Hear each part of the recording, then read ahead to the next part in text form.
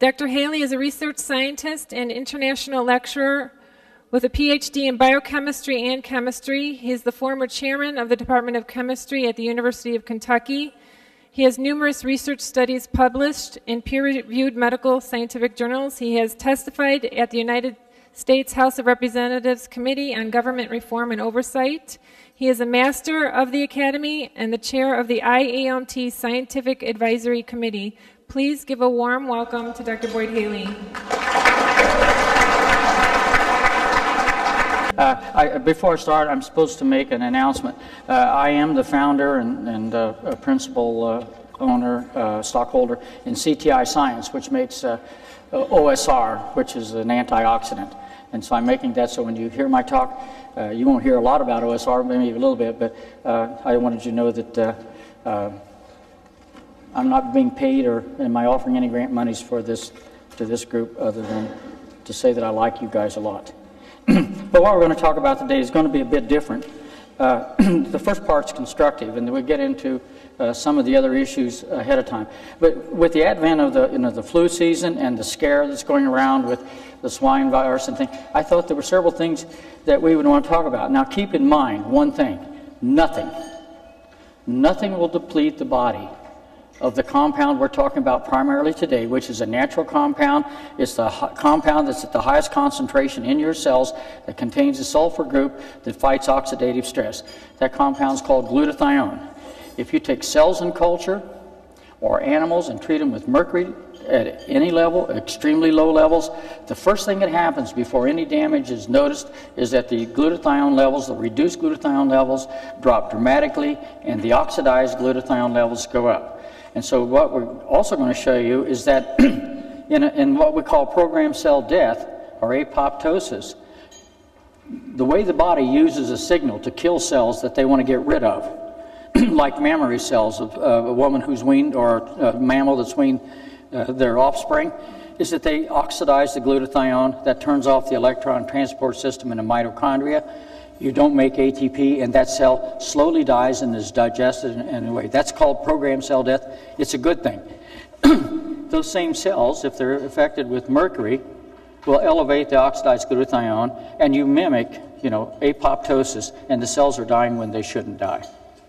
So Here's what we're going to talk about, and this is glutathione and oxidative stress.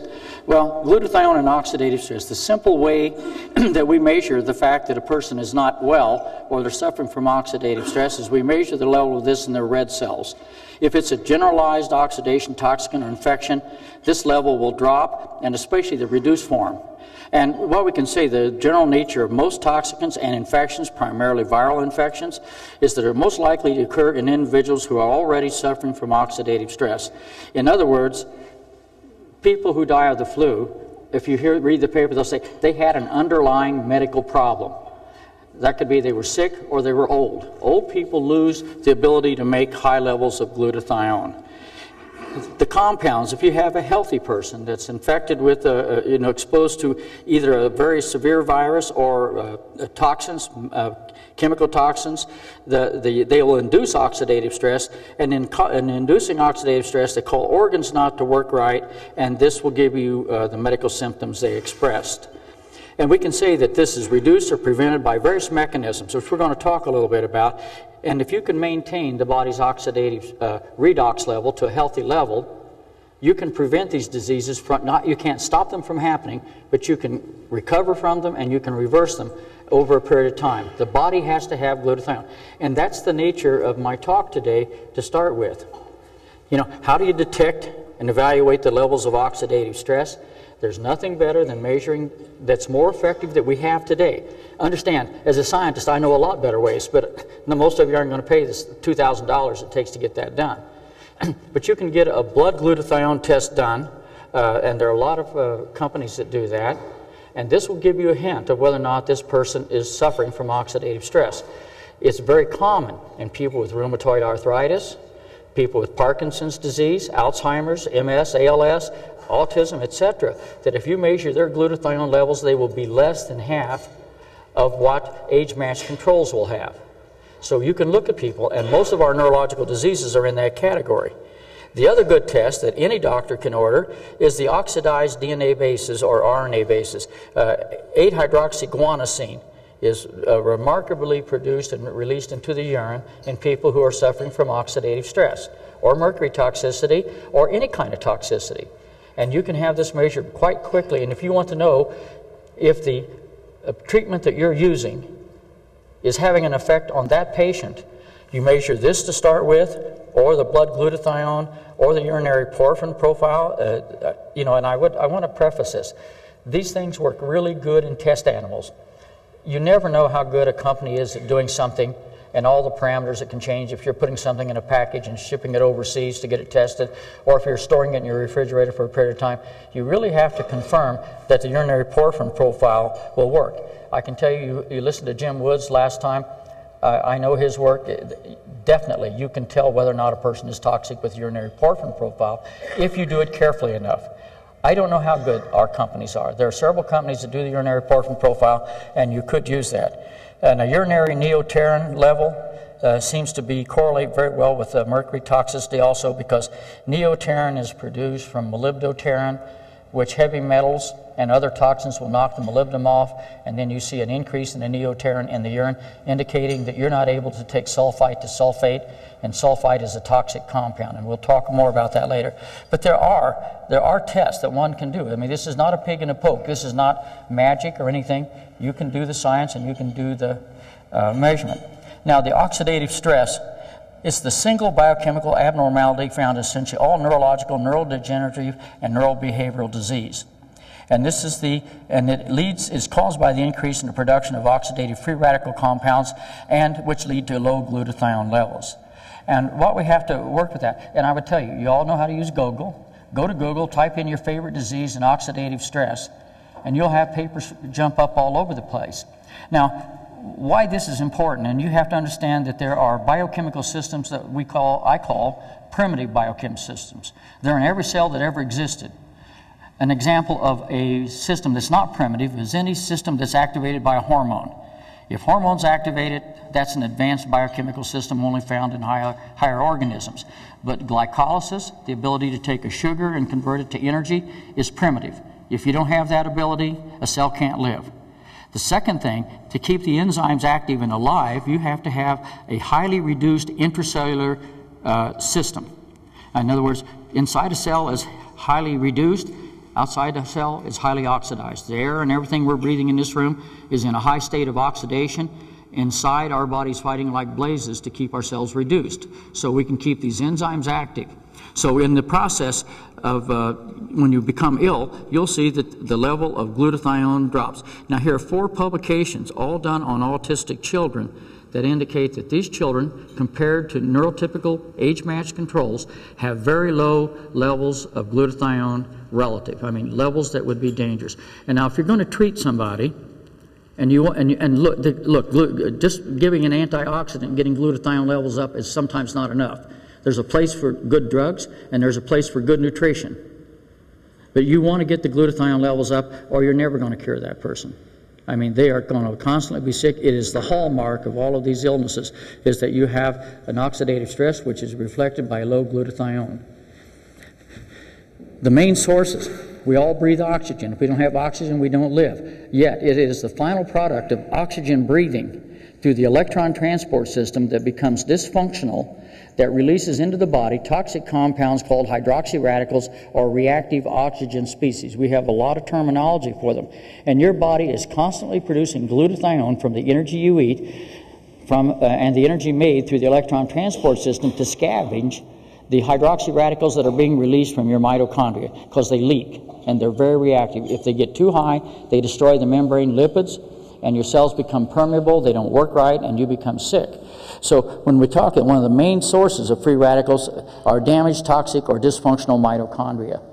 If you hit, uh, hit with radiation, radiation toxicity, it's not the radiation. That molecule, that shot came through, it's gone. They take you away from the source of radioactivity, and you still die because you have destroyed the mitochondrial and, uh, uh, functionality, made it dysfunctional, and you're producing hydroxy radicals which lead to your death later, much after you've been removed from the radiation.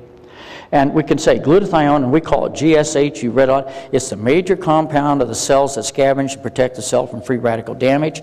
It's there all the time. If this is low, you are suffering from oxidative stress. It can cause hair loss, cause wrinkling skin, causes aging, causes numerous illnesses, and you've got to follow that, and it's incredibly important that we address this, the issue of this compound. Now, there'll be a test on this before you can leave the room. No, but really, I mean, you know, I don't expect you to understand or follow this, but this is just some of the chemistry, and it all comes out when you start with oxygen and you pick up electrons, and to deliver an electron to an oxygen species, you have to have a metal. Most of the metals and most of this is done in the electron transport system, which is an iron sulfur center, has other metals in the body. If you have too many other metals that shouldn't be there, like mercury, iron, lead, cadmium, etc., you can produce these about anywhere in the body, but it's almost always the donation of an electron from a metal that causes us to produce this whole plethora of what we call reactive oxygen species. And the most dangerous of these is the hydroxy radical. It is the most damaging. It's the one that goes wherever it wants and tears up whatever it runs into. And it can start a chain reaction. In other words, one of these molecules can destroy hundreds of biologically important molecules through an, uh, what they call a chain reaction. And down here we have systems in here that are very important for the removal of ROSs because if we didn't remove them every day, all the time, we would run into a problem. We have superoxide dismutase, catalase, and peroxidase catalyzed reaction. Now, catalase gets rid of hydrogen peroxide that's put in the body. This sometimes is useful. And the peroxidized catalase system is where we have something, something like similar like glutathione that will take hydrogen peroxide and convert it to water.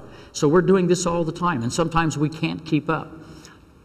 The more toxic we are, the older we are, the less uh, effective our diet.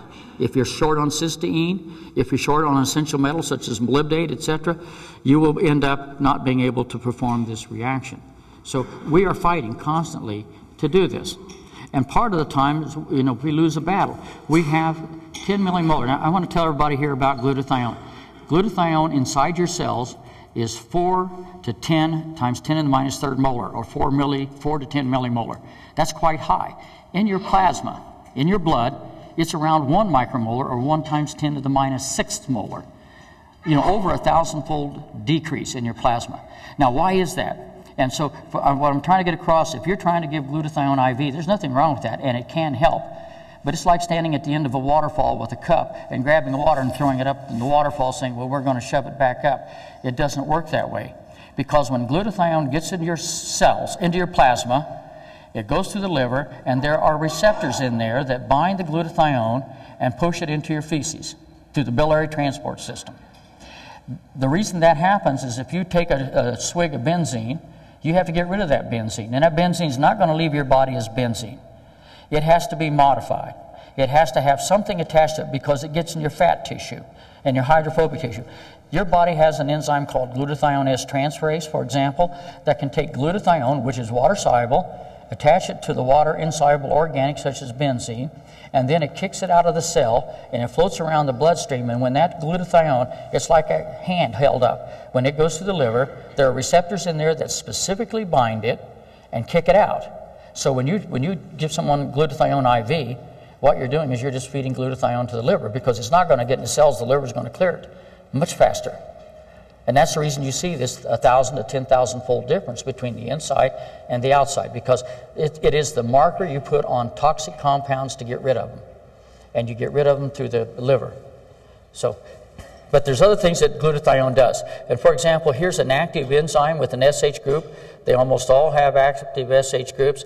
Reactive oxygen species plus another uh, compound in it, that could be something like cysteine. And when you activate that, you can oxidize that, and this is called a disulfide linkage. And this enzyme is inhibited and inactive. You can't, it cannot perform its function. Now remember this SS bond. This is called a disulfide bond. I'm going to mention that later when we talk about viral coat proteins. It's the key thing that your body uses to get rid of viruses is the formation of this disulfide linkage. Because GSH can go to this active, this inactive enzyme over here like this. GSH binds to that and it converts that enzyme back to its normal form and you end up with GSSR, which is removed from the body or re reduced by an enzyme called glutathione reductase. But this is how we constantly are reactivating enzymes that are inhibited by reactive oxygen species. Glutathione also has a major effect on removing certain heavy metal toxins. Now, when you go to the health food store, you buy glutathione, it says an antioxidant. Glutathione is the most potent natural chelator that mammalian cells make. It is how we get rid of glutathione if we're, I mean, mercury if we were a healthy person. And the process is like this. If you have an enzyme, you treat it to inorganic mercury, it becomes a mercury inhibited enzyme and it's inactive and you've got a problem.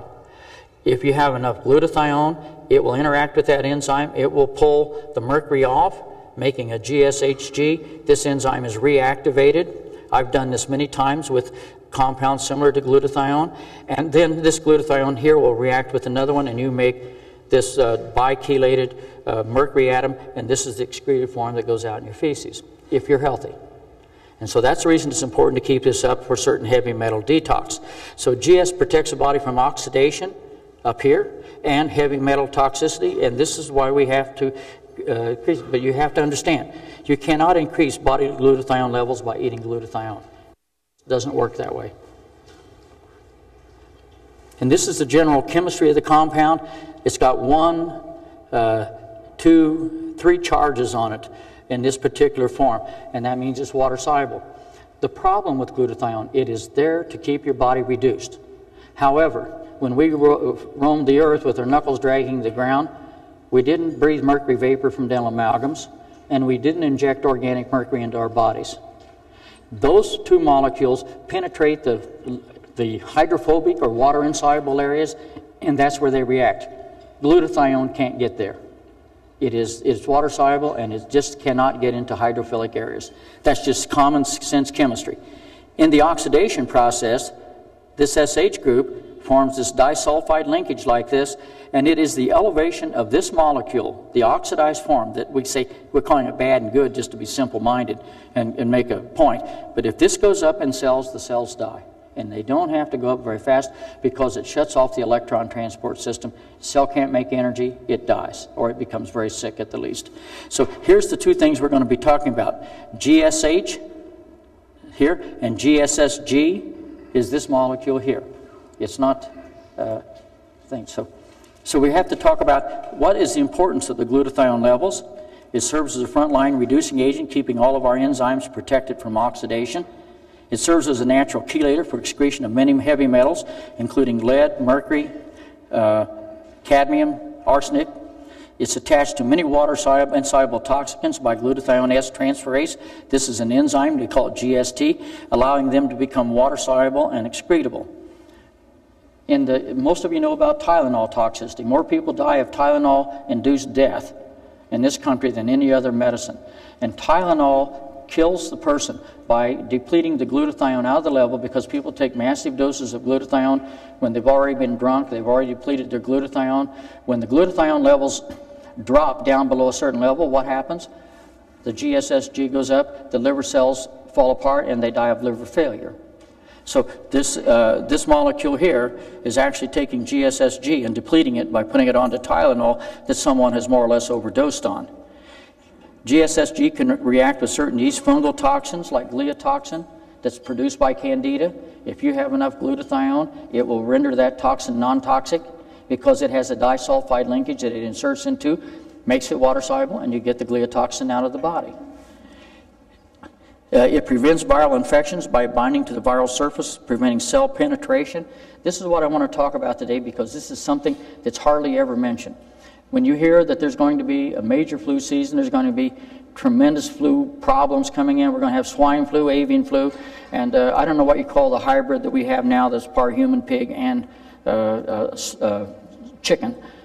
I don't know what you want to call that, but there is one way. Your body fights this off. If you ever think about how do we ever get over the flu? We don't have an antibiotic for it.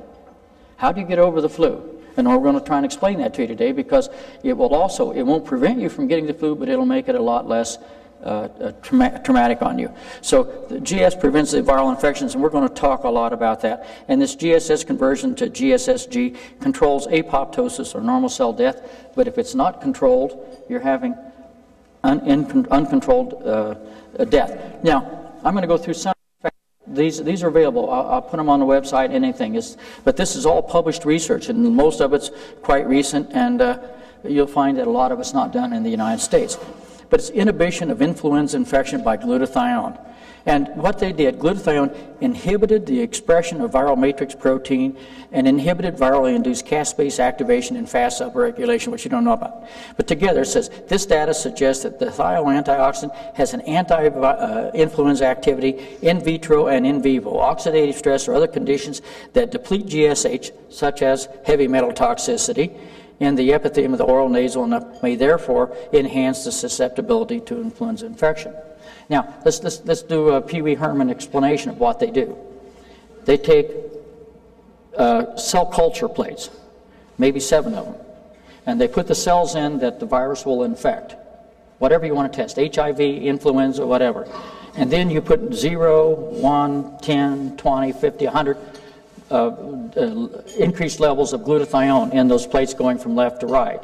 And then you put the virus in, and then after a period of time you come back and by you know just standard uh, techniques you can see which cells are infected by that virus and you will reach a point with every virus that they've tested so far that I've been able to find that glutathione will absolutely prevent the virus from being able to penetrate that cell.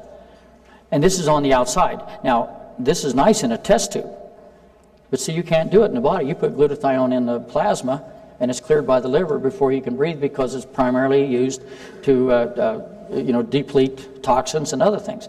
So what we have to do is we have to work at getting the glutathione levels in the cell because a virus will go to a cell, it binds to the cell surface, injects the nucleic acid into the cell, and then you start making new viral products. But when you're making these new virals, entities, they're doing that in the presence of high levels of glutathione, if you're healthy, and the glutathione starts binding to the uh, coat proteins of that virus, rendering that virus susceptible to removal by the immune system, by the liver, and unable to penetrate the next cell because you have this glutathione interfering with the binding. That's basically what we're going to be talking about, but I don't want you just to believe everything I say. Here's one glutathione deficiency is associated with impaired survival in HIV disease. This is the AIDS disease. And it says this, this data strongly argues that the unnecessary or excessive use of acetaminophen, alcohol, or other drugs known to deplete GSH should be avoided by HIV inhibited uh, affected individuals. Well, don't you think we should say that acetaminophen or Tylenol should not be given to people that are susceptible to the influenza virus? But they'll tell you, oh, if you're going to get the flu, make sure you have enough acetaminophen around so you can really get sick. and the, the, molecular mechanism of decreased glutathione content in human immunodeficiency uh, deficiency virus type 1, uh, there's a compound that's produced by the HIV virus called TRAT. TAT. And when TAT goes in, TAT is a, uh, a transactivator coated by HIV that is sufficient to cause glutathione depletion and, and, and is implicit in AIDS-associated Kaposi sarcoma and B-cell lymphoma. In other words, the virus has a trick. It produces a protein that makes your glutathione levels drop so it can survive. It's just sim it's simple, straightforward biochemistry, and it's not rocket science. It's kind of hard to do it, and you know you have to admire the people that come up there. So, uh, so it says therefore TAT appears to decrease GSH in vivo, at least partially through a modulation of the GS biosynthetic enzyme. So, if you have something that inhibits enzymes that make GS, you're making yourself susceptible to other viral infections. What molecule or what atom? That absolutely, totally inhibits glutathione synthetase. Mercury. So, but cadmium, uh, cadmium and lead does the same thing. On this next one, we talk about the, the restoration of blood total glutathione level lymphocytes functioning by alpha lipoic acid supplementation in patients with HIV infection. We all know alpha lipoic acid is a natural antioxidant. It's a constituent of the body. And it does seem to work. And it, it, it has a positive effect. But let's look at it. It says supplementation with alpha lipoic acid may positively impact patients with HIV and uh, acquired immune deficiency syndrome by restoring total blood glutathione level and improving functional activity of lymphocytes to T mitogens. Okay, and it worked. It took the level from 1.3, I mean 1.81 up to 1.3. But it says there was no significant change in either HIV, RNA level, or CD4 count in this level of improvement. In other words, it did make a positive improvement on the glutathione level, but not very much. And why is that? Because lipoic acid is a natural compound that's consumed by the body. It's metabolized. If you're going to have a good antioxidant, you want something that's not being metabolized. And that's part of this uh, design that we're going to talk about later. But anyway, it does show that there is a positive effect and that you can, and that scientists think that glutathione levels, if we can raise them, should have a positive effect. On this one, we say increased erythrocyte glutathione peroxidase activity and serum tumor necrosis factor alpha in HIV infected patients. Relation to ongoing prothrombic state. What we're talking about that is, you know, thrombosis, thrombophilic things which happen in HIV patients cause a lot of them to die. And part of that's caused by the low glutathione levels that are induced by the virus. And, you know, what these findings suggest a relationship between erythrocyte oxidative stress and the hypercoagulable condition during HIV infection. So if your glutathione levels, blood glutathione levels are low, you have a lot of coagulation problems. And it's not just HIV positive people that have this problem. There are a lot of people that have coagulation problems. Uh, you're all looking at one right now, maybe. Okay, so um, let's, let's just keep uh, that in mind. And, and I'm sorry, I don't want to read all this to you, but I want to, I want to show you how, how much the proof is. The glutathione inhibits HIV replication by acting at late stages of the virus cycle. If you look at that, the data here is saying if you raise your glutathione levels, you can decrease the replication of the HIV virus. Boy, don't we want to do that? We're spending billions of dollars on drugs. We know the natural system. We know glutathione is in the cell, can do it. And what we ought to be working on, instead of making a drug that costs somebody a lot of money, we ought to be working on good antioxidants that raise the glutathione level so that the body can naturally defend itself from HIV as it's wont to do. These results suggest a potential role of GSH in combination with other antivirals. They had to put this in you, you make the drug companies happy in the treatment of virus-related uh, diseases. And the major uh, envelope glycoprotein, the protein that surrounds the outside of the virus, is rich in interchanged disulfide bonds. Remember, I told you to remember where we talked about the SS bonds? to a chemist, that's an attack site. If you have an SS bond, and you can put in something like glutathione with an SH. It will do what we call a thioexchange reaction. It will go in and displace that, form a, a, a viral protein S to uh, glutathione. So you have a, VSSG. And with that glutathione hanging on the outside, that viral coprotein is not functional. It, it's marked for removal by the immune system and the liver biliary transport system. And you get over the viral infection. And when it's there, it's like a blockade for that viral coprotein to bind to the outside of a, another cell and being able to inject its nucleic acid inside and infecting the next cell. It's a good way, it's the way you shut off a viral infection and the way you get over it. This one here, evidence for antiviral activity of glutathione the in vitro inhibition of herpes simplex virus type 1 replication. I just want to show you that it worked for things other than HIV and everything else. And it says the intracellular endogenous GS levels dramatically decrease in the first 24 hours after viral absorption, starting immediately after the virus challenge. In other words, when the virus goes in, it, it has enough capacity that it depletes your glutathione levels. Then, and at the end here, it says the data suggests that endogenous GSH inhibits the replication of uh, this herpes simplex virus 1 by interfering with the very late stages of the virus life cycle without affecting cellular metabolism. In other words, it has no side effects. So this is the way we ought to go. We need to determine. We don't want to put in things that inhibit, you know, DNA replication, RNA replication. I mean, those that's that's that's that's killing a, a snail with a sledgehammer the relation between plasma glutathione levels and cardiovascular disease in a defined population, again done in Japan, not done in the United States like most of these are. And it says glutathione appears to have marked antioxidant activities and therefore may prevent cardiovascular disease, CVD. A lot of us in this room are worried about that, when, especially as we get older. And down here it says these findings suggest that reduced plasma total glutathione levels are a risk factor for cardiovascular disease, especially for cerebral small vessel disease. And so you really have to uh, appreciate or begin to appreciate that if we can do something to raise glutathione levels, or prevent the reduction of glutathione levels, however you want to look at it, we could make a lot of people a lot healthier. This is called prevention and not necessarily, uh, you know, a treatment or cure. And here, hepatitis C core protein inhibits mitochondrial electron transport and increases reactive oxygen species production. So here we have a virus that inhibits the mitochondria, and this is a picture that all of you ought to be smart enough to understand. The electron transport system is how we make ATP, how we make energy. If the virus wants to take over, it disrupts, and when it disrupts that, you start making RS reactive oxygen species. The glutathione drop, and the virus has a nice home to replicate itself for the next two or three hours until it's fully matured, and then it's released into the body to go affect another healthy cell and repeat that process over and over. And if you don't have enough glutathione or enough treatment there to take care of that, I mean, you die. And that's the reason that people that have, quote, underlying medical problems are more susceptible to viral death than anybody else. They don't have the glutathione to fight this system off.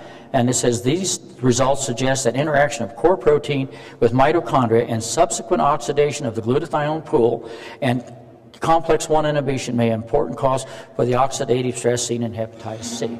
And that would be the same with many other viruses also. So we have a set of conclusions if you followed, and I'm, I know you, that's, that's pretty heavy science and a lot of data to read, but you can say glutathione experiments indicate that GSH is important in both preventing and eliminating viral infections. It appears as if the SH group is paramount in disrupting the thio or the SS bonds of the viral coat protein, impeding further replication and spread of the viral infection. It has been hypothesized that glutathione bound to viral proteins enhances immune response to these viral infections. In other words, it, it makes the immune system recognize that complex much more rapidly than just the virus that first gets in your body. And low GS levels seem to be a major risk factor for viral infections, and this is important with the current uh, concern about the swine flu. Now, most of you read the story about the students from New York City, evidently from well-off families that flew to Mexico picked up the H1N1 or the swine flu infection, came back to New York City, and they all had minor bouts of the flu. Two days they were over it, and they said it wasn't that bad. And yet that's the same virus that in Mexico City that the CDC and the World Health Organization says it's killing people. We're going to have 90,000 deaths. What's the difference in Mexico City and New York? Or the people. And then I remember Jeff Clifford gave a talk one time, and I thought that's a strange combination. He talked about the bioterrain. The kids from New York City are probably very well fed. They probably have, if they, if they get sick, they get the antibiotics on time. They probably have good glutathione levels. The poor person living in Mexico City out in the squalor, the first one that had it was a little boy off of this, you know, out of a squalor farm raising pigs. They don't have that glutathione level. They don't have the cysteine to make that glutathione. So they're low in glutathione, and that virus, which is relatively unaffected and uh, not toxic, or lethal to Americans, well-fed Americans that aren't sick, kills them. It, it won't kill us. We, we really don't have that much to worry about if we work hard at making sure we're not toxic, we're not sick, and if you can find a way to keep them getting old, I'd do it. I mean, it's, I mean, but anyway, but I'm, I'm kind of making a humorous point, but I think you'll remember it then. You know, there, there are things that we can do to prevent these viruses from being this. And if our government spent as much time in improving, you know, compounds for oxidative stress and good food as they did helping the, the companies make vaccines, we would be a lot healthier. And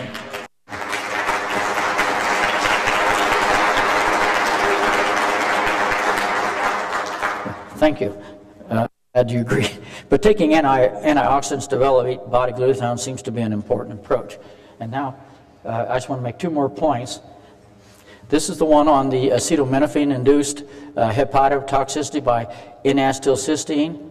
You know, what they come down to, the, the only thing, the only way N-acetylcysteine helps is by increasing glutathione levels because if you take the L isomer, which can't be used to make glutathione, it doesn't work. I mean, if you take the D isomer, pardon me, if you take the the L isomer works, the E isomer doesn't work. They're the same, except stereochemically, that one can be put into glutathione, one cannot. It's only the one that is incorporated into glutathione that causes glutathione levels to come up that causes any positive effect. So when you're taking these compounds, what you want to concentrate on is what you can do to either increase the body glutathione levels, either by new synthesis or by salvaging it. This is another one that I think a lot of people would probably be surprised. Dioxin causes a sustained oxidative response in the mouth, and this is protected by glutathione. Glutathione, you attach it to dioxin to get rid of it. But here, you know, if they gave a small amount, it's five micrograms of this uh, dioxin derivative per kilogram, you know, prolonged oxidative stress, the hepatic oxidized glutathione levels increased twofolds within one week, and these effects were uh, around for eight weeks despite no further dioxin treatment. In other words, you had oxidative stress that was permanently induced. The urinary levels of 8-hydroxyguanosine, this is the breakdown product, the oxidized product of DNA, remained elevated at about 20-fold eight weeks after the dioxin treatment and consisted uh, and, and uh, coexisted with chronic and potentially mutagenic DNA-based damage. So some of the toxins we have, we really have to get rid of, and the only way we get rid of them is to attach them to glutathione. And some of them that are the most toxic are the ones that refuse to be excreted and hang around for a long period of time. Now, I'm going, I'm going to go over this pretty fast. This is some chemistry of lipid peroxidase, but a lot of medical doctors like this. This is the major place where oxidative stress shows up. It, it destroys your plasma membrane. Your membrane integrity is destroyed because the lipids that make that membrane up, the unsaturated lipids, pick up a hydroxy uh, uh, group from a free radical. They're the best scavenger, and you end up with a compound like this, and it's an oxidized fatty acid or hydroperoxide, and this ends up in your urine, and you can get it. Glutathione can treat this, but it doesn't treat it all that well because you still end up with one of these with the hydroxyl group on the uh, unsaturated acid. Now, for some of the stuff that we develop, we know that if you look at Alzheimer's disease, it's usually the lipids that are most highly oxidized. So what we were trying to develop with the hydrophobic uh, approach is to get a product that would sit in the lipid bilayer with the sulfur groups out because sulfur groups are more reactive with hydroxy radicals than are double bonded oxygens as you see in these unsaturated fatty acids.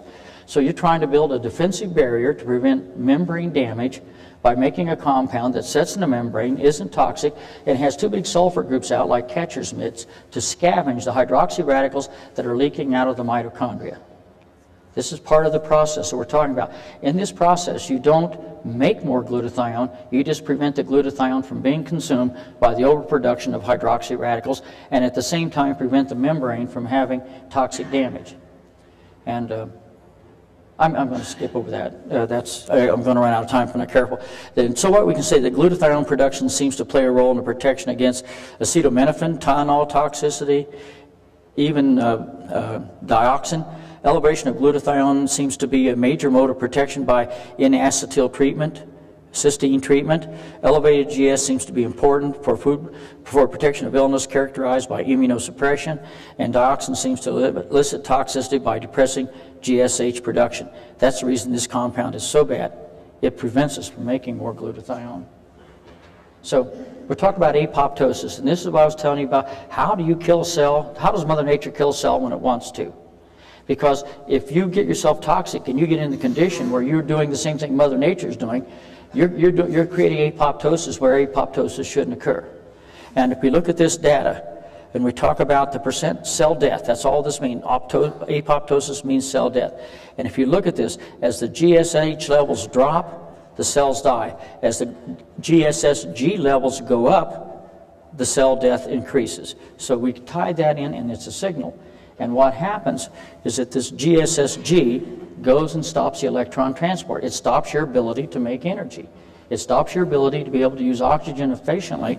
And so uh, if we do another plot, here's the plot of oxidized glutathione. It's sitting here at this level in the untreated cells They're living. As it goes up, it reaches this point, and at this point is where you start seeing the percent dead cells increasing. So this is the key that ties into it, and it doesn't have to go up that much, maybe 10%. So when you start oxidizing this molecule, it's telling the cells you're going to die. We're going to prevent it, and it's what Mother Nature developed, and toxins take advantage of. This is how you turn off energy production, and the cells die from this. The DNA damage, if we talk about the 8-hydroxyguanosine and the increased ratio of this, as this ratio gets higher, or as the GSSG gets higher, you see more oxidized DNA, and this is what causes mutations and causes DNA not to work properly. So it all fits in hand in hand about how we need to take care of these things. Uh, this is just showing that if you take GS, again, cells in culture, if we could, if our plasma would not take out GSSH, you could give a lot of GSIV and it would work. But it clears your plasma so quick or your blood so quickly, it's not effective. But if you can do it in culture, it'll take it, you know, from here down to here, the, the percent apoptosis will drop down here by just adding GSH to these cells that are dying. You can reverse apoptosis. So we can say there's several items that lead to abnormal oxidative stress or low reduced glutathione, and we can talk about toxicities, infections, inadequate diets, low cysteine, aging, and lack of warmth. If many of you ever think, why do we have viral infections in the wintertime? Why? Why? I mean, you know, viruses like 70 degrees as well as they like zero degrees. But your body, when your body starts fighting to keep itself warm, you stop producing as much glutathione level. In Air Force studies where they've taken animals and put drop the temperature that these animals are living in, their glutathione levels drop within, with decreasing temperature. And that, and that makes them more susceptible to viral infections. So we have to consider that, and I'm looking, I'm going to write a paper on that for you guys to read sometime. And so the concept, we need to directly treat oxidative stress by reducing the production of free radicals or scavenging them to salvage glutathione. Antioxidants diets, remove toxins, take out dental amalgams, might be a good example you know, increase the production of glutathione by providing pro-glutathione nutrients, for example, cysteine, and removing any toxicants. There's whey proteins that give you all the components you need to make glutathione, and you remove the heavy metals that prevent GSH synthesis by inhibiting the enzymes. So we have to focus in on several things. And, and I want to tell you, even though I'm going to be talking about how you can scavenge hydroxy radicals, the, the, the stuff that we're going to present will not replace a good diet, good supplementation, and in many cases, a good antibiotic or good drugs that will make the person healthy. It's this, there's no panacea, but we need to focus in on keeping the body, the terrain, as Jess, Jesse uh, would say, to keep it such that it's unfriendly for viruses to infect our bodies. So, so we, we came up uh, some time ago with this new antioxidant partitioning concept, and I learned this from thimerosal. Thimerosal, when it breaks down, which this is the preservative put in vaccines, it releases a compound called ethyl mercury. Ethyl mercury is totally water insoluble. So it immediately goes into your fat tissue. Ends up primarily in your brain, because that's where the, the most uh, fatty tissue is. And so if you have glutathione, glutathione can't go there, it's charged. So you need something to make, we needed to have something that would go in and uh, uh, respond and fight oxidative stress inside the cells uh, and other places where uh, you know the organic and the inorganic, uh, um, I mean, uh, mercury could go. And the toxin-generated species, RSOs, in the body are located intracellular or in hydrophobic locations. So if we're going to stop them and scavenge them, we have to have something that can go across the cell membrane like a lot of the other compounds that we know about. The new antioxidants are needed that enter these intracellular areas. Selenium has two negative charges doesn't go very well into these places. DMPS, DMSA, vitamins. If you look at these things, they are all highly water charged. If they're water soluble, they're cleared by the kidney very quickly. They don't cross the blood-brain barrier. All of these juices that you see that say, here's this juice, it has a real high ability to scavenge hydroxy radicals or ORAC score, you have to ask the question because what we find is this conundrum. If it were true that the ones with the highest, the best ability to scavenge hydroxy radicals work the best, then the ones with high scores would always do the best job at reversing oxidative stress. And that doesn't happen. Sometimes a lower one, a compound or food with a low ORAC score will be better at reversing oxidative stress than one with a very high. And so what it has to be able to get inside the cell or it can't work. It has to stay in the blood for a period of time. Or if you urinate it out, you know, half hour after you drink it, it's not doing you much good. So there are a whole bunch of parameters that have to be taken into. So we need to you know, you do an intelligent design of these compounds that can go in and scavenge these free radicals and get the glutathione levels back up. And so this is what we've done. We've uh, tried to make efficient antioxidants. They must be have a good ORAC score. That's oxygen radical absorbance capacity. That's how well they absorb these oxygen radicals. And they have to be hydrophobic. If they're not hydrophobic, they're not going to do you any good. I don't care how well their ORAC score is. And you'll see a lot of juices that are at, you're asked to drink and they say, oh, they have this score in a test tube, they absorb hydroxy radicals, in your body they don't. because you have to be able to get there, and they don't get there. This is some of the new hydrophobic antioxidant agents that uh, I've developed with uh, uh, Dr. Uh, Gupta, who you can meet him at the CTI uh, website. You want to go talk to him. And what we noticed when we talked about this is that it had two large SH groups, which are free radical scavenging sites. The best thing made to scavenge a hydroxy radical is a thiol group. And uh, so we also know that this is water insoluble, so it would go into the lipid bilayers, and we've done a lot of tests to show that. But this is the compound that we've talked about. It's uh, OSR dose for its ability to scavenge hydroxy radicals is linear with concentration. And the amazing thing is, and many of you have seen this, is that its ORAC score is over here at 192,000.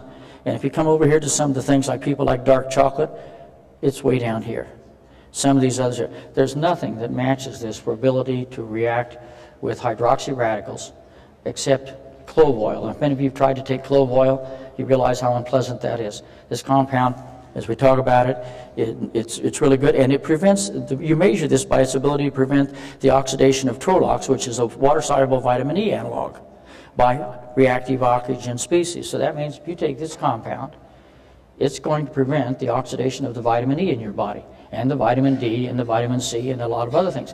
Because it's way over here, those compounds have absorbance capacities or reactive species down here. So if this is high enough, there's not a chance that you're going to oxidize essential vitamins in your body. We also know the HORAC, this is the hydrogen, the hydroxy radical. This compound is 299,000. I mean, it's even 100,000 higher than that. So this was, was amazing to us at how effective this compound is at reacting with hydroxy radicals. And so if you go through it, it's one of the most potent antioxidants ever tested. And it ranks up there with clove oil and essential oils. Uh, however, the OSR is without toxicity.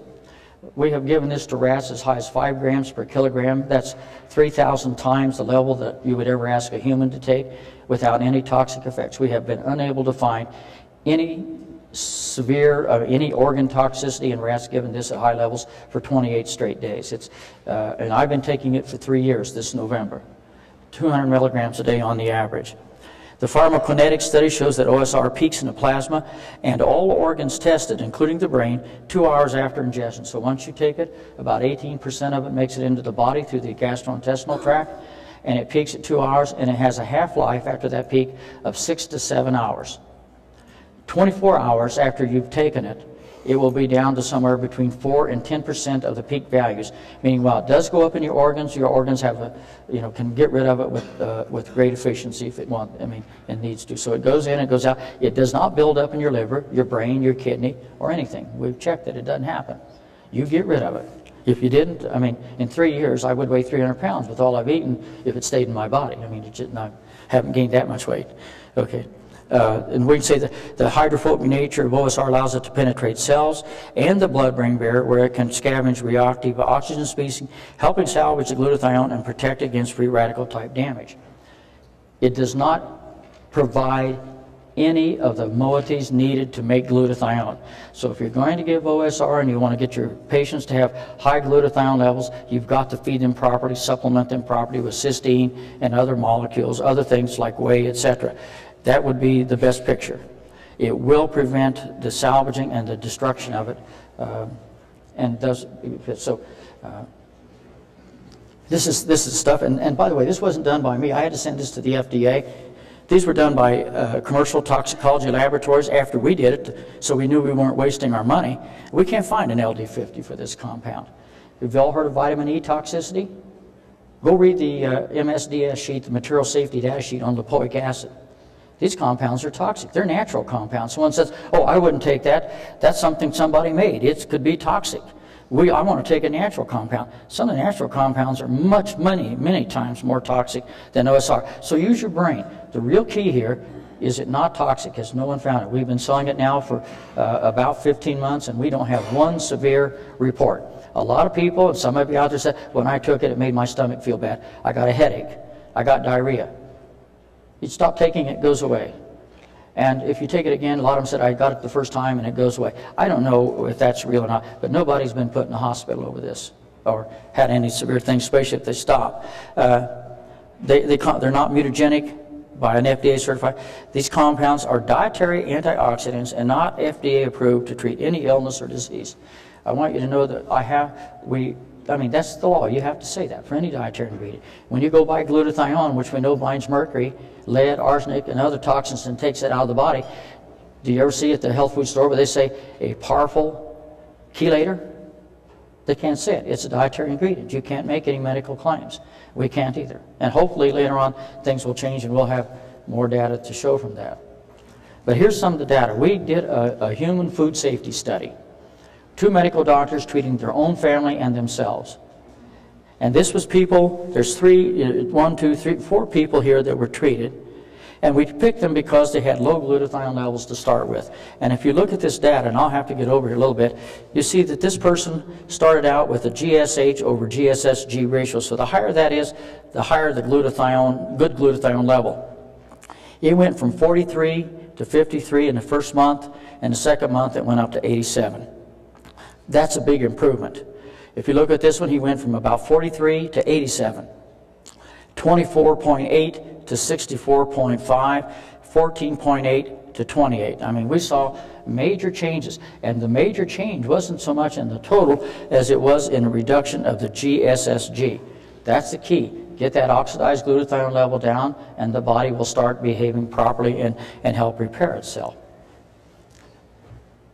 This next one was done with older people. No, these, these are younger people also. The others were older. If you look at that, we went from 40 to 87, 43 to 87, 24 to 64.5, 14.8 to 28.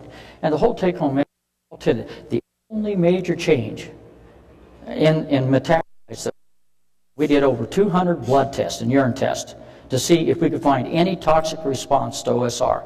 We were really trying to show that this compound did not cause your hormones to go uh, levels to go crazy. And what we saw, and it was very surprising, and as we kind of expected, but we didn't really know, is that it was very, very potent at raising or the GSS levels and raising the total glutathione levels. And it works in that regard. And that, that means it's not a pig in a poke. Any medical doctor or any dentist here that wants to see, does your patient need, are they suffering from oxidative stress? You send off a blood test. It costs much less than $100, depending on where you go. And you can come back with a value and say, this is under oxidative stress. You treat them, and then at a period of time later, month, two months later, you retest them and you say, we're, we're correcting this problem. If you were causing the glutathione levels to go to normal, you oxidative stress problems in that person. And it's something you can test. You can also the other tests that I talked about, if, if, if you have a reliable source. Uh, here's the one for seniors, by the way. These were people 72, 71, 73. This person went from, you see, see how low the levels are compared to the younger people? Went from 11 up to 48.8, from 17 to 28, from 15.8 up to 69 in these individuals. So this 72, 71, and 73 year old, you can use this to effectively treat. Uh, am I losing? Oh, okay. Is this better? Okay. You can use this to effectively treat oxidative stress or low redox status in older people. I'm going to jump up remember we talked about the enzyme called glutathione S transferase that takes glutathione, attaches it to organic toxic molecules like PCB, pesticides, herbicides.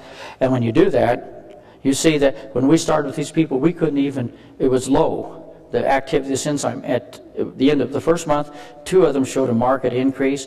At the end of two months, every one of them showed an active increase in this enzyme that's absolutely needed for you to detox your body, especially things like the acetaminophen uh, or Tylenol uh, oxidation products. So in conclusion, we can say we have a non-toxic, lipid-soluble free radical scavenger that's been developed and found to be without detectable toxicity. This antioxidant effectively scavenges hydroxy radicals. It's seen as effective in helping maintain a healthy glutathione level, and the healthy glutathione level is important for health. And I would point out one thing. You don't see this advertised. You don't see us bragging about a lot. It will be the parents of ill children, and it will be the physicians that use this. We only sell this through dentists and physician and medically licensed personnel. They will be the ones that will tell you whether this works. It won't come from Boyd Haley. And I think in the next year we'll be finding some uh, very important uh, discoveries or uh, reports to show how well it does work. Okay. So now, how much time? Have 10 minutes? Yeah. We're going to talk about the autism epidemic because this infuriates the living daylights out of me. And you say, what caused the U.S. autism epidemic? First of all, this epidemic is based on data from the U.S. Department of Education and the United States military, where they have reported an increase, a dramatic thousands of percent increase in children that have to go through special remediation in school because they have neurological and attention deficit problems. That went up. It went up about 1990. It started climbing dramatically. And so whatever caused this had to be something that was introduced around the late 80s or the early 90s. And it had to be introduced in all 50 states at the same time. That means it went up in Hawaii, Alaska, California, Florida, Maine, Nebraska, and all the states in between. Now, the I mean, I'm telling you, very foolish people in our government agency. This is the reason you know our government agencies aren't very damn smart. I mean, I learned when I was a kid taking animal husbandry in a little country school that genetics cannot cause an epidemic. If your cows are all dying in one day, it's not because you have bad genes. Something toxic hit them. They spent $28 million, the Autism Speaks organization, to identify the gene that causes autism when there couldn't be a gene that caused autism, not the epidemic we've seen. So when we so if we look at that, we can say it's it is not caused by genetics, and they proved that trying very hard to find the gene that they could blame so that they could say the vaccines weren't available. But what you did have is a genetic susceptibility to an environmental toxin. There are many of us that can drink a lot. We get rid of the alcohol and we're fine. There's some of us that can't drink a lot. We drink, we become alcoholics. And then you can have those in the same family. I mean, you can have an alcoholic and another person that's not, and they can be full siblings, brothers and sisters. There is genetic susceptibility and it's very refined. But what we had to do was we have to have that toxin. And it had to increase in all 50 states at the same time, approximately at this date. And the only thing I know that fits that was the mandated CDC vaccine policy, which started in 1988. The exposure had to be before age two. These children that are developing autism aren't taking drugs, they're not hanging out at the bar, and they're not going out where they might be breathing from smokestacks more than anybody else. Two years of age. Second thing, and this is the one that really kills them, the toxin has to affect boys much more than girls. There's a study where you take mixed gender rats and put them in a cage and you feed them thimerosal. All of the males will be dead before the first female even acts sick.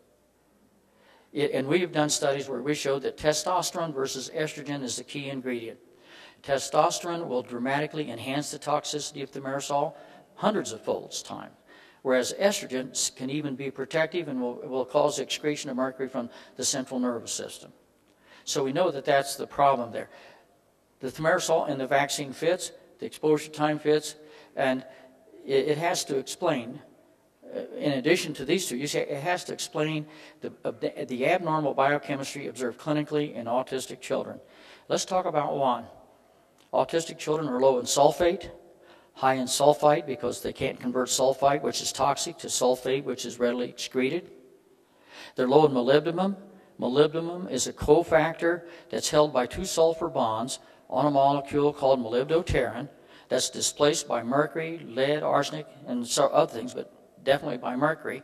And so you can see how mercury could go in, knock off the molybdenum, the sulfite levels would build up, the sulfite, sulfate levels would go down, and these children would develop problems. Children that die from seizures because they do not have enough molybdenum or cannot convert sulfite to sulfate die because the myelinization of the white matter in the central nervous system is dramatically reduced. And this is what you see in severe autistics. They do not have good myelinization of their white matter. And so this is all fitting. And the thing you say, well, what can cause that to go? up? Plus, increase the neopterin levels in the urine is caused by mercury toxicity. It ties right in. If you take people that have low neo, uh, high neopterin levels in their urine and you treat them with chelators, the neopterin levels will drop, indicating that mercury is playing a role in that breakdown and also in the removal of molybdenum. So we have several biochemical aspects that can only be explained by a pleiotypic toxin. And by a pleiotypic toxin, we mean a toxin that acts at multiple sites. The suppression of the immune system has nothing to do with the sulfite metabolism but it happens also. And so we have a lot of aberrant biochemistry, and I'd like to see somebody that claims that they know some science that supports the vaccine policy that says that this would not be, that mercury wouldn't be the most likely explanation. And now, just last, about a week and a half ago, a paper came out from UCLA that showed in 1999, 2% of American women had detectable inorganic mercury levels in their blood that indicated that they were retaining or were being exposed to mercury. They read this, called the NHANES study, the National Health and uh, uh, Nutritional uh, Examination Study. They repeated the data on people that were treated, women, again, all on women, not on men yet, at that time. And in the 2005 to 2006 year process, that number went up to 30 percent. So we in this country are becoming very mercury toxic. He, this, this author, I don't know him at all. His name's Dan Laks. Uh, but he is pointing out what we're seeing. And he also pointed out that the people that had the highest blood mercury levels were the ones that were associated with many uh, with tests, biochemical tests that show that the pituitary gland isn't working right. They're not releasing luteinizing hormone. Their bilirubin is screwed up. And other aspects. The white cell count is dropping in these people that are more mercury toxic. You all know what white cells are good for. So we're seeing, you know, a toxicity level, and our government is just flat ignoring it. And there's sometimes when you have to have the guts and you have to stand up, you have to go to meetings, you have to be like one of these town hall uh, uh people, and you have to go there and tell these people, your legislator, you are allowing our federal agencies that are supposed to protect us, you're allowing them to keep us toxic and make us more and more toxic, and you are going to do something about it when most of us are so sick and ready to die that we can't do anything. This is this the research is totally against any use of mercury in medicine or dentistry.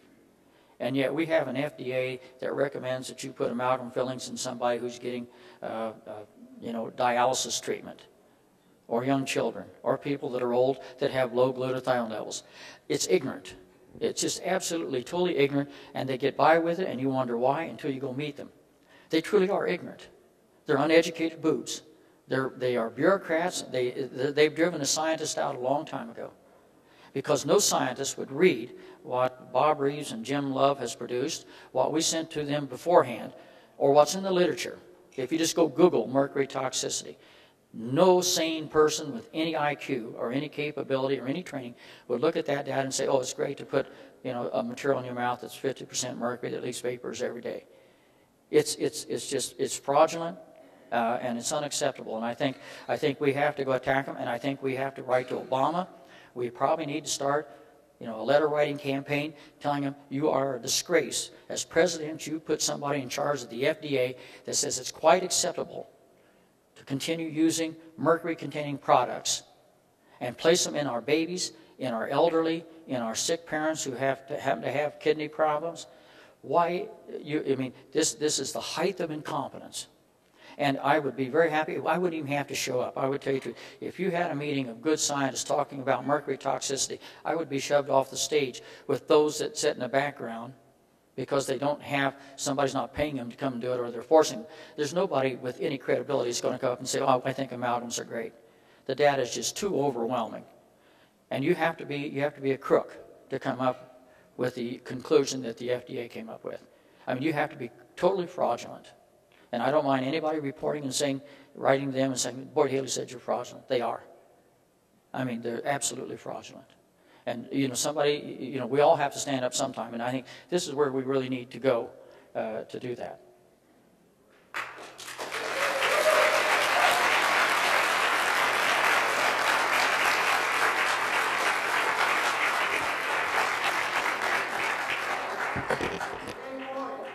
I, I I would, I would just point out there, there are two places where you can go and see this, and I thought this.